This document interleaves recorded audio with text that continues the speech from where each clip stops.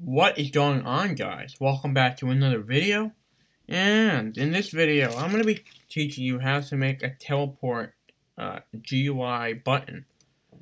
A teleport button that will teleport your player to a given location. Or just teleport them wherever you want. So let's get right into it guys. So let's start making the button. You got to go to the folder in the uh, in the game right here.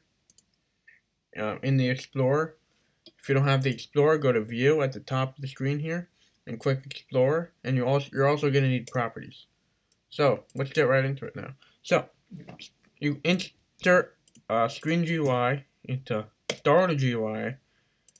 Starter GUI basically just um, holds up all the, the the user interfaces in your game. Everything that like buttons of um, shops, stuff like that. That's where you want to put it, right in Starter GUI. Alright, so we can name this um screen GUI, uh, let's see, teleport um, GUI. Alright, now we can enter a text button. I'm to drag this down here.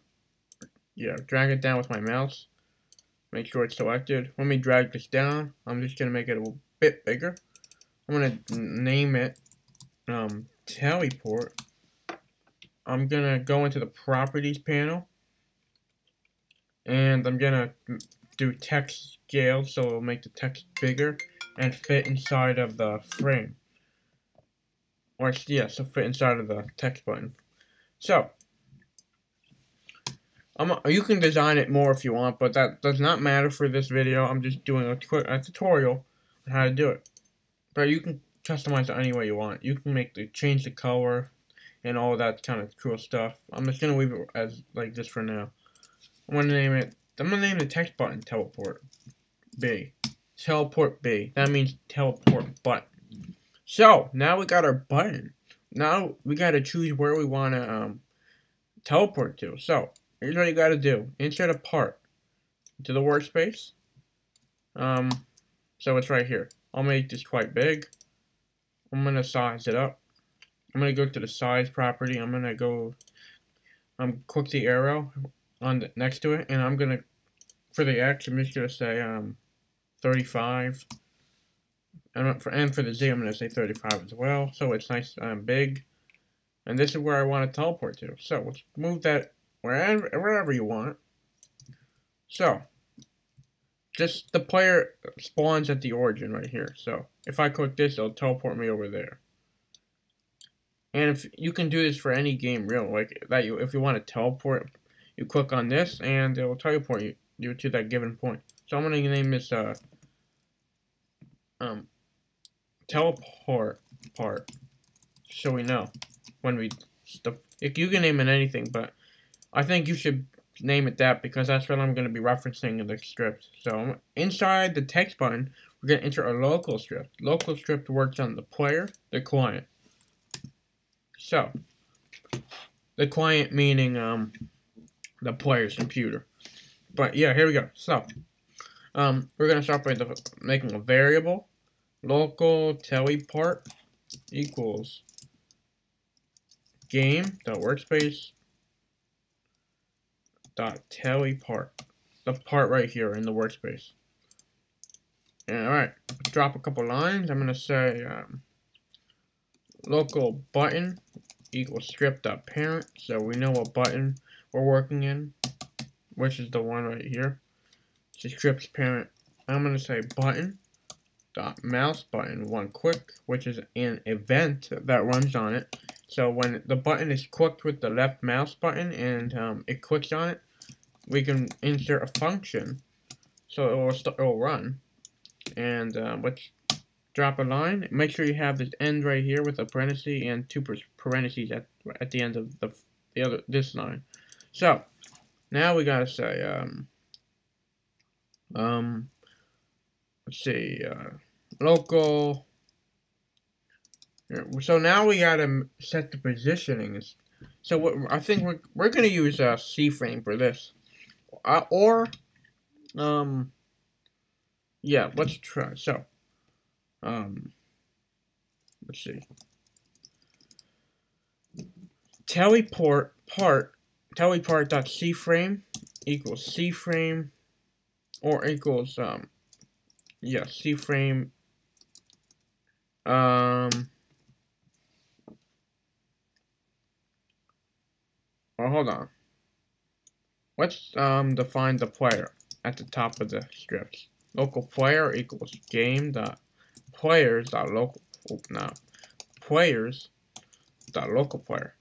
So now we got the player that's the player right there so um you could say, uh, oh, we don't that we don't want to do that. Teleport dot C frame. No, that's not what we want to do anyway. So player dot character. So that's the model in the player. The character dot humanoid root part dot um frame equals C frame dot new um, teleport, teleport dot position, teleport dot position, teleport dot position. So we'll just set the position of it for the X, Y, and Z axes. So let's try playing the game and let's see if this works. Feel like it should work. I'm gonna put quiet play here. Alright. Give it a minute to load in. Okay. Now, I'm to click on this button and I should be teleported over there where the teleport part is. I'm to click on it. And, ooh, we got a mistake. I don't know what happened. I'm at, I, I'm in, in the ground right now. That's pretty weird. So, it did not go the way we wanted it to do, uh, go. Let me just open the output to make sure that if there's any errors. Which, um, there probably is not any errors. Because it's definitely a positional error. Um, I'm to go back into the script. So let me just look this over. So the character, the humanoid root part, that's the up, that's like the main part in the torso area. It's just a part that all NPC, uh, all characters have in Roblox. Humanoid root part dot c frame. So the coordinate frame, the position really, equals c frame dot new teleport the position. Um, let me just try dot x. Just want to see if this works. Y and Z. If this doesn't work, I think I have another idea in mind. So that will just Let's see if this works. Kind of curious to see if that works. Alright, we're loaded in. I'm going to click the, the button. And there we go. It kind of worked. Except, um, I got to anchor the part. I think that's why it did that. I just fell down. I want to. I don't want to fall down.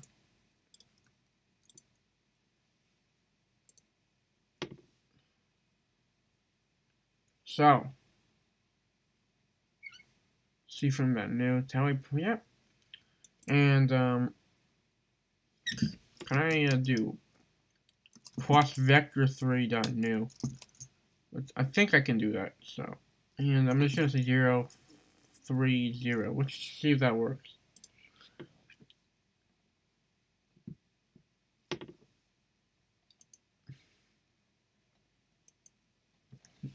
Just make sure teleport. Boom. Awesome. Works awesomely. Works amazing. That's awesome. Look at that. That's, that's awesome. That's um that's really nice. I'm gonna explain what I did to get this to work, and yeah. I don't even think we're gonna need this vector three bit at the end here. Not at all. I don't. We don't need that. It should still work. That's just to give the the character some height when it spawns on it. We might need that. Well, I'm just gonna try it right now. Yeah, I think yeah, we definitely need that. So we're so we're not spawning into the part right here. So definitely add that little bit right here. So let me explain the, the, what all this does. So top of the script here, we got three variables. Teleport part, which is the part right here that we named teleport part and we're just setting it to the game that works us. That teleport part, that's what we named it. no the button equals script the parent. That's the button. So we're so we know that the this is the button that we defined. So script the parent. that's the button. Um, player equals game.player is the local player, so that's the player that clicks the button. Or the player so that we're gonna that we're uh, programming to follow to to go to the position, which is over here. And we that mouse button one click connect function. And um yes, but mouse button one click is an event that fires when a player clicks on this um, teleport button. And yes, that works for all buttons in, in Roblox. Mouse button one click. It's very useful. Connect function. So now we're tying it to a function. Player that character. So player that character is the character. Player's character. That humanoid root part. I got, I got. I'll show you what the humanoid root part is if you don't know. That C frame, which is the it C frame is equals C frame dot nil. C frame is just uh, position and rotation. So, in this case, we're positioning. So we want to position the the the, the humanoid root part, which is a, a, a main part. Here, I'll show you it right now, because you're probably very confused. When we you might you could be very confused, or you might know what it is already, which is great. But I'm gonna show you guys what it is right now. So, game the so this is the player. Um, in the players, this is my player um, right here. And in the properties, there's a character um, right here. And that property is set to gut pack. That's, um, hold on. Yeah, it's set the my my name. It's, it's set to the, the character in the workspace, which is this. So that's what it's set to. So we just say um, player, the character, which is this model, um, dot humanoid root part. So yeah, um, player dot character dot humanoid root part. This part right here, it's uh, it's like a, the it's um it's invisible, but it's a, it's around the torso area. Let me show you what it looks like. It's just like a little block. Let me set. So yeah, that's what it looks like. It's just a block. It's every character in Roblox has it. It's essential, and you can do cool and you can um do cool things with it to to your and to um it's and um yeah that's you should honestly if you're gonna teleport the player you should probably do it with the human root part it's just a part uh, but yeah it's a it's a main part of the char character without it it would not work really it would uh have it would not work your character would fall apart so humanoid root part does C frame which is the position of it Watch what happens when I delete it. My character will just fall. Nothing will really work. Damn. So yes, dot C frame. Dot C frame. So we're getting the position of humanoid root part equals C frame dot new. We're creating a new position. In this case, we're doing teleport. We're creating a new C frame, which is position and rotation. But yeah, we're gonna do teleport dot position dot X. So we're setting the X position we want the character the, the character to, to spawn or or go to teleport dot position dot x. That's the x value, and teleport dot position dot y, and teleport to position z. So that's just um. If I click on this, I'll show you. So here's the teleport part, properties, and uh, the position is a vector three. So x, y, and z. That's where we want it to go. So yeah. I want it to go to th these values. That's where the part is. So yes. Um, yeah, and we're just, what we're doing here, basically, we're just setting these numbers into here. So it knows where to go. And when we say plus at the end of it, plus vector 3 new, it's just, um, vector 3 is just size and position. So that's what vector 3 is. Because you see how there's three values right here? That's what a vector 3 is. There's three values for position and for size. There's three values too. So vector 3 then we're creating a new um, vector. Vector. Uh, in this case, we're I'm just um this three just means that um I'm elevating the player like or the to uh load when it teleports it's gonna load above it through um, three studs so it won't collide and, and, and it won't get stuck inside. Um, I yeah, I think three is the, the right number for this. So it just um, because the three is on the y-axis, so it's gonna spawn them uh, three studs above. So there's no problems. And I hope you guys can understand that. I really hope you guys can understand this. And if you don't, please talk to me in the comments below. I'll read all your comments, and I'll try to give the best um, responses possible to try to help you out. So, um, I think I covered everything. So yeah, except if you want, if you if you don't want this part to show, by the way, if you if you want this part to be invisible, then just say transparency is the property. So click on this and go to the transparency and set it to one, which is completely transparent. So that's if you don't want to see it. And and we can also make it can collide false. So go to um, the part, quick, um, go to you can type in uh, can can and you'll see this property um, in the part and the can collide just means you can collide with it but if it's off if you turn that the check mark off just click on it and there's no check in the box that means it's false that means you can collide with it you can go through it and stuff and you're not colliding with it so let's now play the game and also it's very important that if you if you want if you don't want this to move, you you probably should anchor it so it doesn't move. I'm gonna play it.